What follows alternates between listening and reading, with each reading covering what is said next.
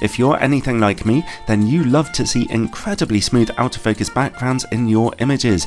Well, for photographers with a Canon EOS R system camera and a whole ton of money behind them, or a good hire company, well, their dream has come true.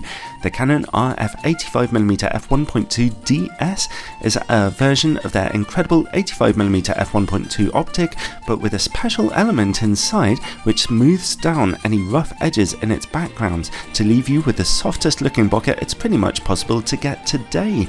There are a few other lenses on the market that can do this, but none in such a dramatic way. At 3000 US dollars though, you'd better have an understanding bank manager for this one, and it does have some limitations. Check out the link to my full review in the description below.